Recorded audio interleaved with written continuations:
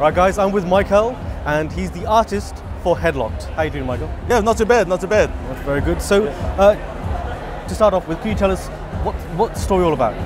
Ah, so Headlocked, The Last Territory, um, is about um, this guy, Mike Hartman, who drops out of college and decides to become a pro wrestler.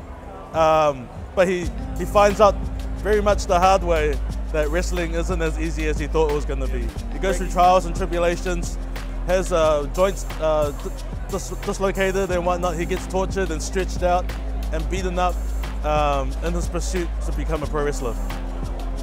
So, with that, um, have you taken any inspiration from real life? Like, are you like you've got the mask Yeah. ready? Have I taken? Uh, yeah. Well, funnily enough, uh, not only am I a comic book artist, I'm also a pro wrestler in New Zealand. Uh, so yeah, so that's why I'm wearing the mask.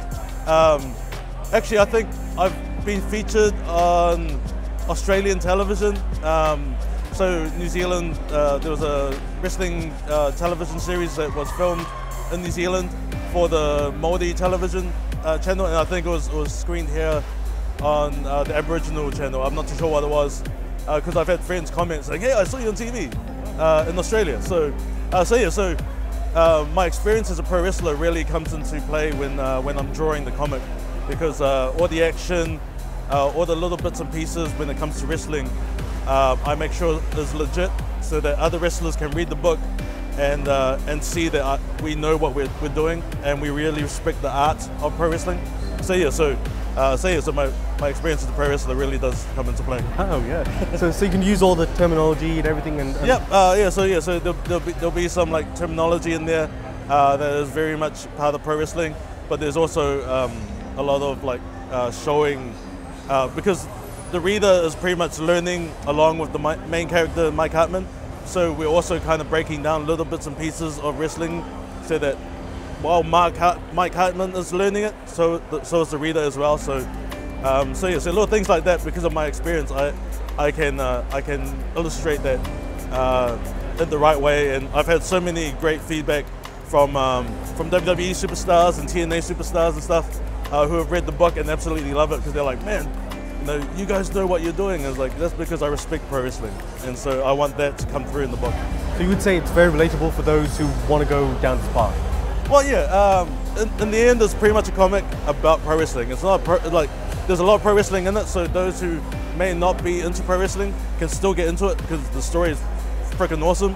Um, but those who love wrestling get a bit of an insight into the business, um, and so yeah, so it's, it's, it's fantastic. Yeah. So, with your own history, uh, Michael, how did you get into comics? How did I get into comics? Man, I've been reading comics since I was five.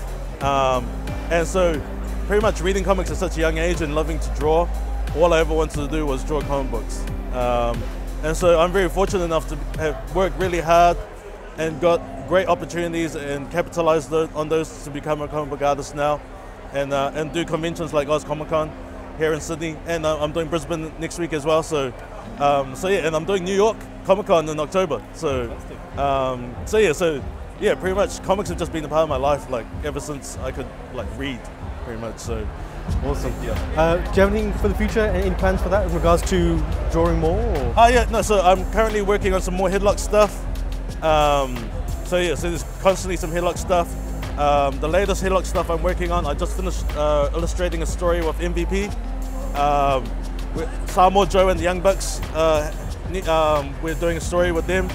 Uh, the next volume of Headlocked, uh, we still have to like 100% confirm, but we have Rey Mysterio doing a story, Mick Foley doing a story, Zack Sabre Jr. and possibly Cody Rhodes doing stories for uh, for the book. So yeah, so like this current this current um, version here, which is the Kickstarter special edition, which has wrestler content.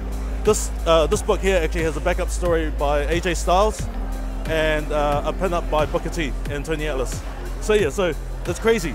I get to meet wrestlers through the comic book um, and hang out with them. So it's crazy.